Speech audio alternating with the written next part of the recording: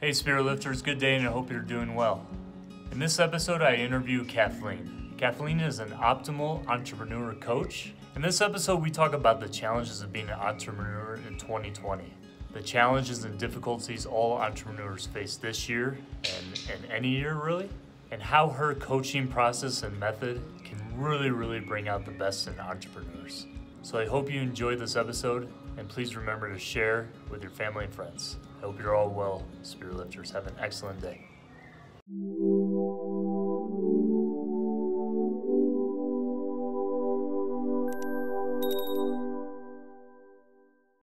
Kathleen, welcome to Spirit Lift.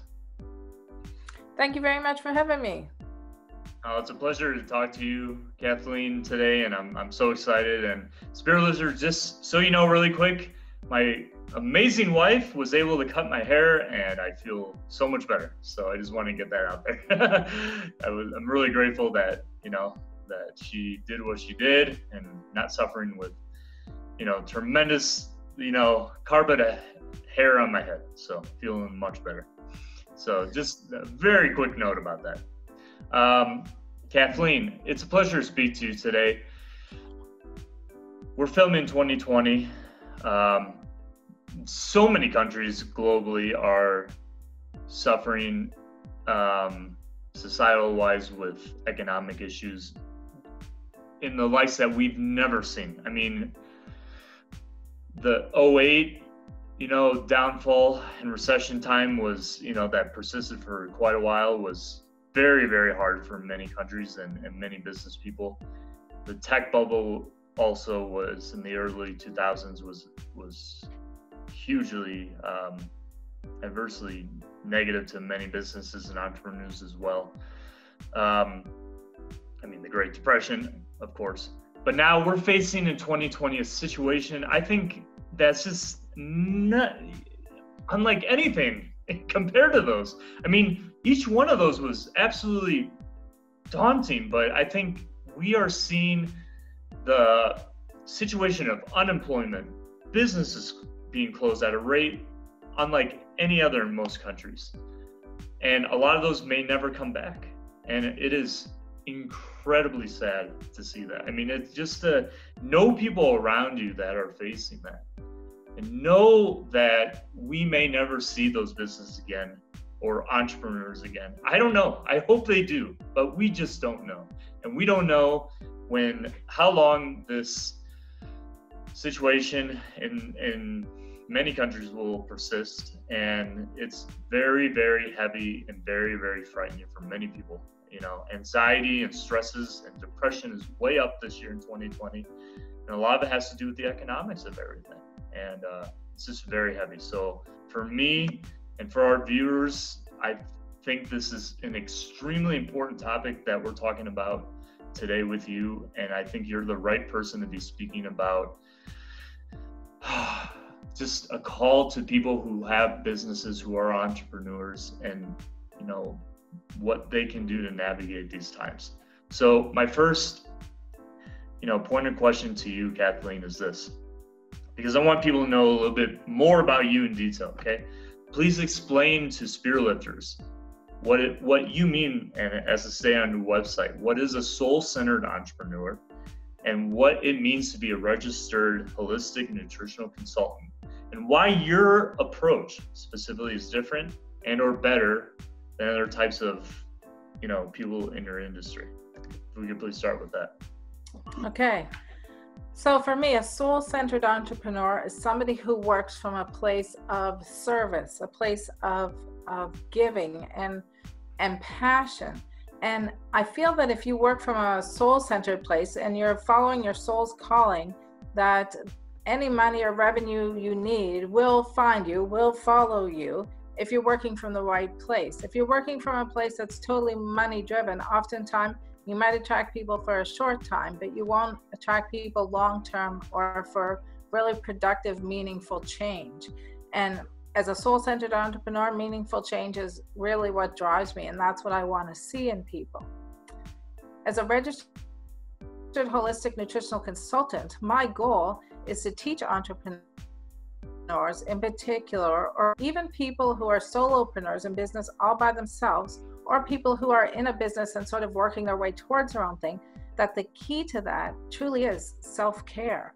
And you have to look after yourself. And as a holistic nutritional consultant, I look at nutrition as one of the main pieces. But one of the first things I teach is a bit of time management because the first thing I hear from entrepreneurs is I don't have the time and I don't have the money. But I mean, you and I have discussed this a little bit previously, but one of the things you have to do is to make the time for good self care. And one of those things is even to take three to five minutes for a quick gratitude practice or a meditation or something at the beginning of your day. And that's how the holistic side is very different because I'm not just looking at your business, I'm not just looking at your health, I'm looking at how those two things interconnect and what your health looks like. So it is connected, it is creativity, it is nutrition, it is time management, it is it is connection to others and connection to your creative side.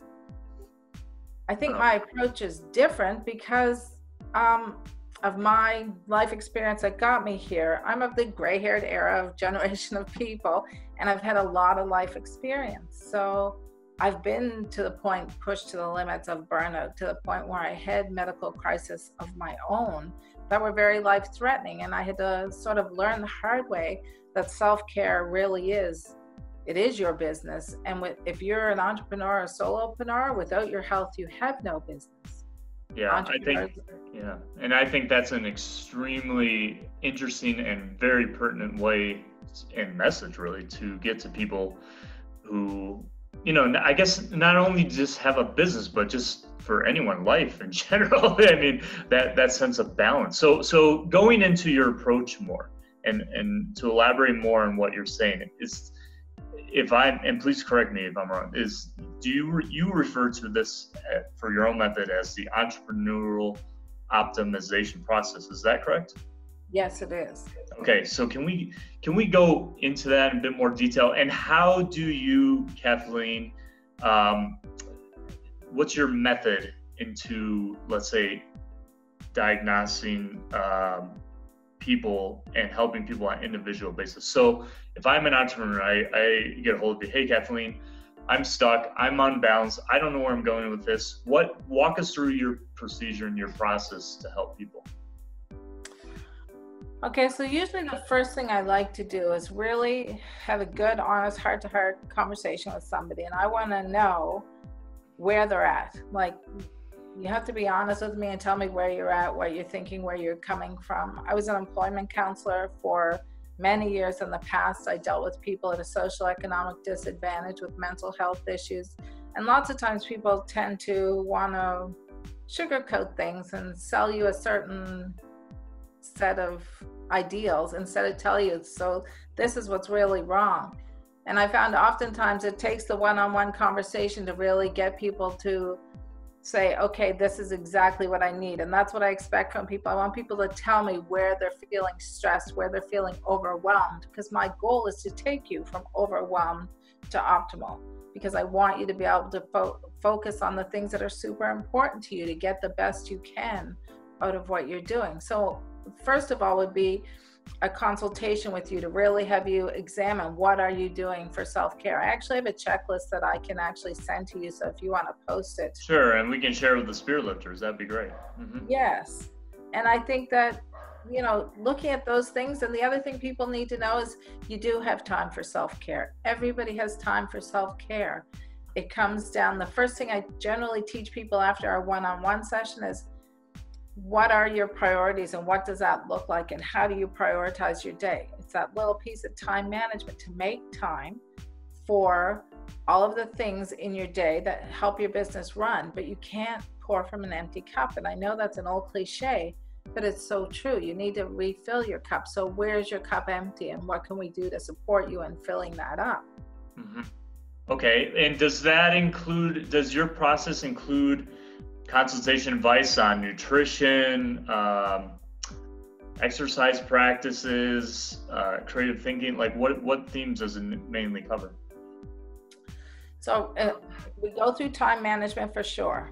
We go through um, self care and the means of taking a break, exercise, meditation, and creativity, and connecting to a cohort of people because lots of times people are suffering because they feel like they're alone in this. So sometimes having other like-minded people, oftentimes I've worked in small groups so that people don't feel alone because people will learn better from each other and they will grow from other people's interaction and experience if they don't feel like they're alone in their process. So nutritional counseling is it's very much a broad spectrum thing because lots of people don't know that you know if you're getting by on on coffee for breakfast or coffee and a pastry, then you're not starting your brain off with the right fuel. You're not starting your central. Oh, are you serious? Oh man. Yeah. Oh, yeah, so I got to like, start all over. I have a caveat for that. Um, you want to do a good organic coffee that's yeah. low in mold and toxins, and you want to put in collagen and some butter ghee or some good coconut oil and whip it up with a frother and have that, absolutely. Then you okay. can do that. Yeah. Okay, but, fine. That's fine. I'll, I'll I'll tweak it a little bit then, as you're saying. Okay. Not a not a you know drive-through coffee that's full of cream and and sugar. And in Canada, it's very much the Canadian double double Tim's thing that people start with. You know, I try and discourage people from that, but that can change your day. Like there's so many small, free, easy things people can do to change their day. Yeah. Oh, and and I want to get. I think that's important what you're saying because also you mentioned about the group support. Uh, look, I know certain entrepreneurs and well, I guess anyone in a situation where they know they may have like the map to change their life, but putting in practice is much more difficult. It's it's you know easier said than done kind of thing. So there, there has to be a certain uh, discipline and accountability. And, uh, you know, for some, I mean, a lot of entrepreneurs I do know work more than anyone I know, you know, but they, the, the balances in life are definitely not there. You know, it's staying up all night, you know, not eating correctly like this. And, and there's certain stresses and tensions that they have more than anyone else I know. So it's, it's about getting the right balances, as you say. So, I, I think accountability is imperative here because I don't think a lot of them would be willing to do this on their own either. So, so what what is your message to that as it relates to what you said to possibly having like groups like group you know reinforcing to keep each other motivated? That's why when uh-huh. I tend to do group sessions, oftentimes how I'll start my group sessions is I'll take a group of potentially six is kind of my key number. I don't want to get too overwhelmed. I will go to 10. Um, but I want to be able to have time to have a good 30 minute conversation with people at the beginning. And I want to have a good 30 minute conversation at the end, along with like the Zoom live chats in between for question and answer. So there's connection and trust building.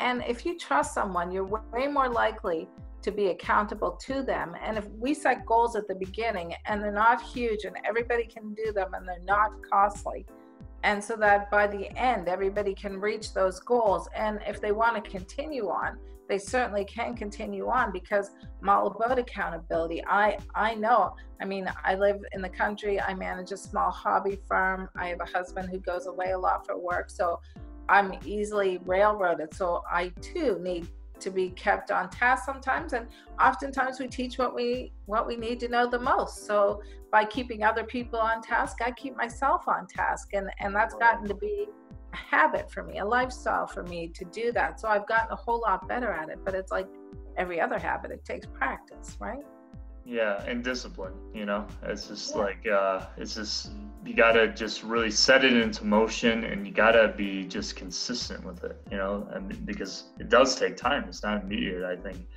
Um you know when you're trying to change sorry? Go ahead you have to be able to see the benefits. You have to be able to do the change and stick with it. But if you're doing something over and over and never seeing the benefits, that's why there's so many easy steps that you can do that you will notice the benefits of. And when you get the easy stuff down, then the harder stuff, when you realize, well, it worked for the easier stuff, it'll work for the more complicated stuff because it will always work. Like being committed, it's not always a straight line. Like it's that old, sure, yeah, where you'll get there. You just have to find the way. Yeah, no, absolutely. And kind of within the same notion of what we're we're kind of uh, threading with right now, Kathleen. What what are the biggest in general? the biggest challenges and difficulties that your clients come to you with as entrepreneurs? Well, you already hit one right on the head. Um, one of the biggest things they have is time management, working right. till all hours and sleep deprivation. Right. I, who who do you know who's an entrepreneur who, who's like, yeah, I'm super well rested and I have tons of spare time. In in the first few years, it's virtually nobody that I've met. Yeah, I only have one that comes to mind, uh, and I think she knows who she is, but that's it. yeah, but yeah, often, you're right. Mm-hmm. Yeah, oftentimes not in their first year of business, you know. Mm-hmm. And that that seems, or the first year of any new adventure for the most part. But I think one is is everybody is exhausted. People feel like they don't have time, and people feel like they don't have the financial resources. And the thing I really want to get across to people is you do have the time. Everybody has the same amount of time, and every day it's what you do with it, how you allocate it, and putting value on yourself, scheduling yourself in, scheduling in self care into that is huge. That mm-hmm. makes an amazing difference to people. And when it comes down to the financial side, pretty much everything that I teach, you don't need any money to do. Like there's a few three minute, five minute meditations. There is a daily planning, like a one page mind map to plan your day to get you into time management. There's a strategy that I teach people every 55 minutes. I want you to get up and step away from all of this electronics and everything. And I know that's not possible for everyone, but you have to tweak it and work it for you. But you need to get your circulation going because you're your blood slows your it stagnates a little stagnates a little when you're sitting all the time so to get you up get moving you know eat nutritious snacks in between your brain actually functions better yeah. when you eat small nutritious snacks on a regular basis because it has to sort of pick up and go okay you know all your neurons uh, well not all of them a huge amount of your neurons are formed in your stomach and connected to your brain so you I don't think a lot of people know that. I think that's extremely interesting, though. You you mentioning that yeah you you there's so many things that have to do with your digestion and your health and i mean again you can eat as nutritious as nutritious food as you can but if you don't have good digestion it's kind of in one side and out the other you know? So. Right right. No yeah and look with what we're going through right now in 2020 i'm and talking to other um, let's say economists that I know, I, I, mean, some people know I have an economics background, but other economists that I've been in touch with, um, I, you know, there's this uh, kind of idea throwing around about the the idea of UBI, okay, in in many countries, universal basic income. I'm I, there in i don't want to put a, a, blanket over things and say okay that could be a good solution especially with these kind of situations we're in regarding the pandemic i think my the, i think the point is there should be some personally some version of that in some countries uh, and however that's done and instituted properly because because of the following reason and this re- is going to revert back to what we're talking about with entrepreneurs is that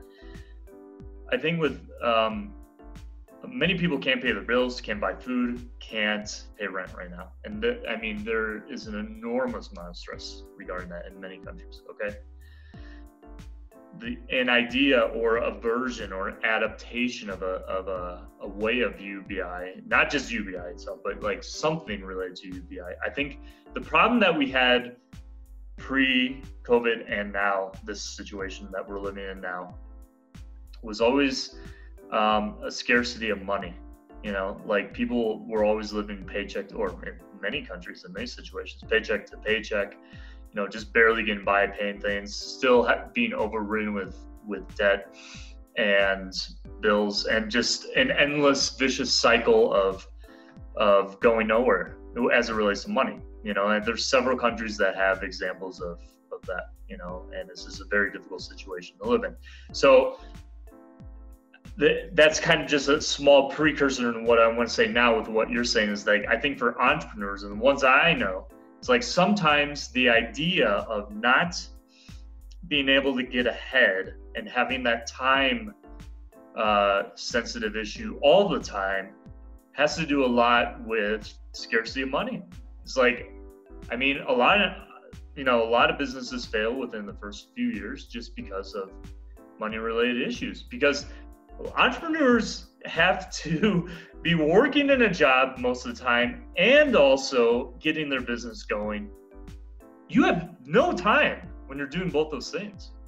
I think so for me personally, a version of UBI, whatever it is, I'm not just saying UBI, but a, a version of that, okay, would help get scarcity of money off the minds of people more often, more quickly, and I think alleviate a lot of pressures, especially financially, that entrepreneurs would have. What do you think about that?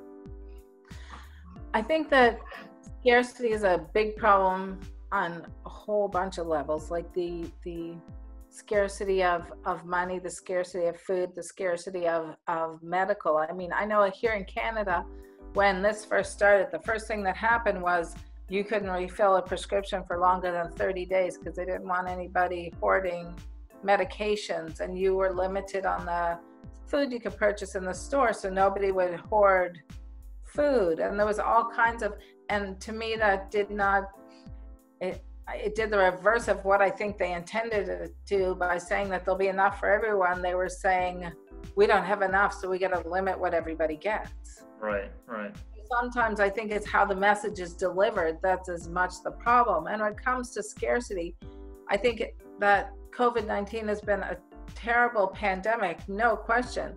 But I think as as a society or as a race, as a human race, we need to really look at what this has taught us, universally speaking, and right. that is sustainability of things. And and I mean, I have the privilege of living in the country, and I do have a garden, and I do have sustainable food source because I have you know laying hens and things like that. But I think a lot of that on a lot of levels if you can find a little way to do that like i encourage people in one of my courses to do microgreens. You do the seeds and you put them in a, in a simple glass jar with cheesecloth and you can have microgreens all day every day and, and the cost of that to you a month would probably about eight dollars a month to have microgreens all month. Like there is ways you can do it but there are ways we've not had to explore before. We just haven't had to look at them because a lot of things have been available to us you know?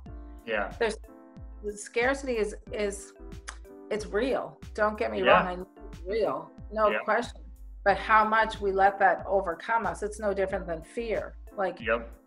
fear is real, but how much of yourself you're willing to give over to fear has a great deal of impact on the outcome of that. So I think, you know, I would love to see a universal income level for people, but the the politics of that ever coming together sure no, it's difficult. Yeah. Not to dive into to politics or economics, but right theory, like I took economics 30 years ago, the theory of communism is a very good theory, but it went it went very south very quickly, you know? Yeah. No, and I'm not I'm not um I'm not necessarily kind of uh putting that particular idea of a structure on the table as it would be communism or socialism something but not, i'm not a proponent for that you know that particular thing but what i'm trying to say is like um, like for example i i was in helsinki oh, I think it was last year. I don't know. I'm losing sense of time now in, in this whole situation, quarantine. I was in Helsinki, um, I think last year, um, and I was there for uh, for work and for a conference, and it was interesting just to talk to people there and understand like sort of uh, sound structural things that they have in society, where then people there can kind of get on with their life and do other things that that you know really drive them without having sort sort of scarcity issues on their mind you know and look, I, I don't know how to label these things properly, and I don't want to assume I know, and I'm not an expert, but um, but but in general, you know, what what makes sense to me, and I think what we're learning right now in this year of 2020 is that whether we go through a situation like we are now, or we go through a whole different situation in the future, if there's certain structural things in order that just hit us like a ton of bricks, and those things are are well done and well, you know, um, what's the proper word I'm looking for? I don't know. Like that, I, I, have this analogous way of thinking like a house. You know, if, if you have a great floor, if you have great drywall, if you have great roof,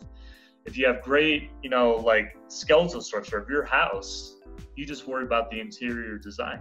You know, so what I'm saying, I mean, I'm not trying to be political or sort of, you know, get in that whole realm, but what I'm trying to say is like, my main point is this, is that, you know, if certain things happen and they're of the worst of the worst situations, like we're living right now in 2020, I mean, people, man, I don't know. I mean, people are getting laid off, people are suffering economically and socially and there, there's got to be sound structural things I would think that would still allow people to pay bills and pay uh, for the rent and food, you know, and that I, I don't see that as a political thing. I see that as a human thing, you know. So okay. that's where I'm coming from, you know.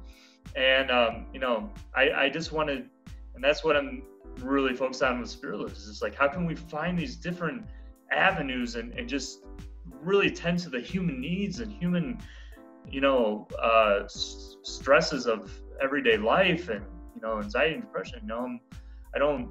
I, I want to come from that angle always, you know, and and and I know that's what you do with how you help people, Kathleen. I think it's absolutely fascinating. And Kathleen, can you can I would be really interested to know, can you please through your process, which uh, Spirit Lifters in the description below, I'm going to include all of Kathleen's information and about the course that you can sign up for. I think you have a free course on your site. Is that right, Kathleen? Do. Yes. Yeah. So can you talk about? Overwhelmed oh, sorry. There was a delay. I'm sorry. Go ahead. Uh, that's the difference in our time space country. sorry, what were you going to say? It's the free course is called Overwhelmed to Optimal, and really, it's it's where everybody can start, and it's just some really good tips on how to just get your feet wet and figure out a few of the things like how important hydration is to your mind and your mental health and to the functioning of those things. Like there's so many little things. And I think, you know, if we, I love your analogy of the house thing. Like that's amazing to me. I think that if we can all take care of what's inside of our house and do simple things, and I know I don't want to dwell on it, but things like if you have a few minutes to meditate, if you can do a gratitude journal, if you have the clean water to stay hydrated, if you have clean water to stay hydrated, you can buy a small pack of seeds and grow microgreens from that. And you need a tablespoon for a large jar, and it will grow over a five to seven day. And you rotate them, and then you at least you have, you know, greens on your table. You can do small deck gardens. You can do a garden in your living room in pots for a little bit more sustainability to food. But not only does that provide that for you, but it gives you that sense of control where you don't lack something because you're actually growing and nurturing and and bringing something else to life. And you are within the confines of your space and ability having control over things because that's a lot of things for depression anxiety and stress comes from things that are out of our control. Covid-19 yeah, is sure. out of our control right? Right so we have to embrace the things we can control, make them tangible, and really focus on them. And if and if you are feeling down or feeling unhappy, then you need to find somebody and express it out loud. Because if you carry a burden, then oftentimes it becomes heavier. But it's the old adage: if you share it, it becomes lighter. And if yeah. you find out somebody else has had the same burden and they can potentially give you some tips and strategies to help you get through it, then then we're better as a as humanity for doing yeah. that all for each other. That's huge.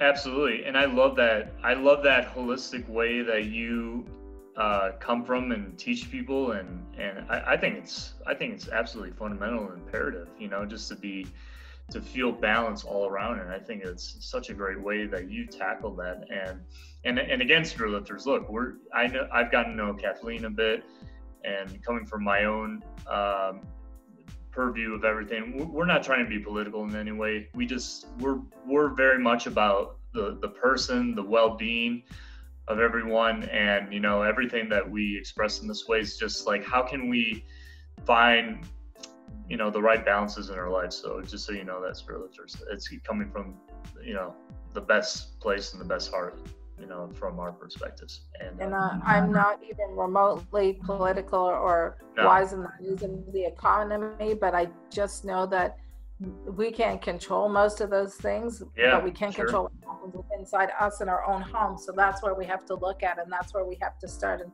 and not exactly not on those things. Absolutely, hundred percent agree. Um, we're we're 100 100% on that same page, Kathleen. So, I have a question uh, uh, about your program because I had the chance to look as well, and I think it's absolutely fascinating. What can you and Spirit Lifters hope you can check it out? You know, like in the description below, uh, as we've been saying. Kathleen, can you please? Do you have a particular example of sort of case study or successful uh, entrepreneur that went through your program and how their situation was maybe before and after that? Just give our spirit lifters an insight. Yeah. Um, it's, I think it's such an interesting time because a success story before COVID and a success story now, even right. that looks very different, right? Yeah. And I think the big thing now is there's been a few people that I've worked with, and one of the things they've had to to look at differently is the time that we've had in we'll call it isolation social distancing. I'm not sure how it's termed in all the different countries and things but mm-hmm. making people really slow down and regroup and reevaluate it. I have lots of people come to me and say i don't think this is all what i should be doing or what i what i want to do or this is what i really liked but i'm in the wrong direction and i think that's been i think that's been one of the gifts of covid. And i know people are like a gift from covid? I don't think so but they're really right. right? Yeah I, I i if you know people understand what you're insinuating that's what's important. So no i i get what you're saying. Mm-hmm. and i had one particular lady and she's a mobile esthetician and she is committed to helping people all over the place. And she does uh, a lot of senior care. She does a lot of senior foot care health care helps them look after certain needs they have, especially diabetic people with their hands and feet. And she herself is a diabetic person. And this has taught her to really slow down, regroup, and how much money does she really need to live on and what really are her priorities and how is she going to regroup them on and having these uh, here in nova scotia canada we had a three month of pretty much total isolation where you they shut down all businesses like unless it was an essential services, it was shut down. So lots of people spent the first couple weeks in almost panic mode because they didn't know what was going to happen next. And and it's like all the stages of grieving that people will go through when they suffer something like this. And it, and they get to a place of of acceptance in the end through a lot of work. It's not doesn't just sort of happen. It can happen organically, but for some people, you need a little bit of uh, a sounding board to talk it through with. And she really realized that her priority was letting go of some of the people that did not serve her in her life, or there wasn't a reciprocal exchange of energy, even not even about the money. She always says she'd do people for free as long as they were grateful, and that's that says to me that she really loves her job. But she learned to manage her time better she learned a better self care. She definitely learned some better eating strategies because when she slowed down, she started and she was home, she had time to eat better and pay attention to what was going in her body and how she was feeling. And she too is type 1 diabetic. She lost weight, she got things under control. So, the success of being able to stop and focus on the whole picture, the nutrition side of it, the connection and sometimes disconnection side of it's very important you know your creative side. She had more time to do some other things. And i want to say this about the creative side. People tell me all the time i'm not creative. That doesn't apply to me. Right. Everybody everybody's creative. Everybody. yeah, for sure. Yeah. and we, we yeah. Yeah programmers are creative. Yeah. Yeah and you need i think we're going to need it more than ever especially as you know technology takes more of more and more of our life, you know, in the years to come. So like creativity and just tapping into that part of us that really wants to express um, in any way that we naturally feel is really important, you know, and uh, and and not and not feel so much that we're stuck in a rat race all the time. You know, I think that's why things and you know the way we want to be do not you know reveal themselves is just because we're always in this motion of never getting out of the situation we're actually stuck in you know? So creativity is fundamental you know? And uh and that that's a really interesting example that you gave and i thank you so much for sharing that kathleen you know? And I teach side, on a side note I, for people who say i'm not creative and i don't i don't have a creative bone in my body. I actually do an art class that i've done with people in hospice care end of life people. I've had the privilege of working with so many great people and it's just a form of abstract art where you do a short meditation and you put paint down on a page. There's a little bit of a process. Any kids can do it, like anybody can do it. And some of the beautiful things that come out of it and people create, and it is a reprieve. It's a step away from the rat race that yeah. that regenerates the mind and helps people just take a deep breath and see something different on a page and think, oh, that is that is kind of pretty. I did create that. That's awesome. And I mean, it, it doesn't sound like it has anything to do with being an entrepreneur, but if you, there's so many sides to us as humans, you have to bring all of them into what you're doing if you want to be a soul centered entrepreneur who does everything yeah. they do with passion. 100%. Yeah, that's really incredible, Kathleen. And just to finish, Kathleen, what would be your message for all entrepreneurs anywhere in this world um, for getting through this time now in 2020? What would what would be just like your you're just whispering there, hey, you know, think about this or or try this or like what would just be like your one t- sort of tip in general for them right now? I just want to tell every entrepreneur out there the biggest thing I have to tell you is do not give up even if it's even if you're pressing pause don't give up because you are unique. You are the only you there is. And even if there's 10 people doing what you're doing, nobody's had your life experience and nobody's had your perspective.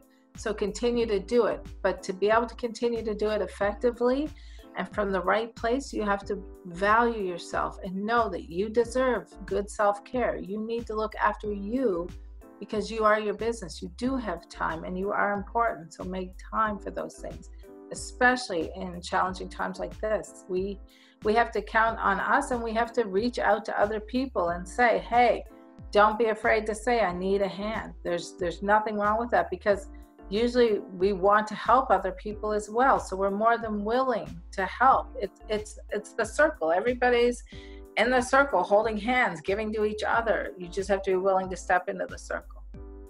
Excellent. Excellent. Great and a great you know insight to to finish on Kathleen and and spirit lifters. I encourage you all to please check out Kathleen's website, sign up for a course. I'm sure it's gonna, especially entrepreneurs, really gonna change the direction of where you can go right now and in the future with with your business and your endeavors. So Kathleen, thank you so much again for being on Spirit Lift. Thank you so much for inviting me. I love, I love, love what you're doing. I think it's so important. I think it's so valuable and the community is so lucky to have you, the community of Spirit Lifters. It's, and I'm privileged to be a part of it even for a short time. I'm, I'm thrilled. Thank you so much. Thank you, Kathleen. And thank you, Spirit Lifters. And we wish you a great day.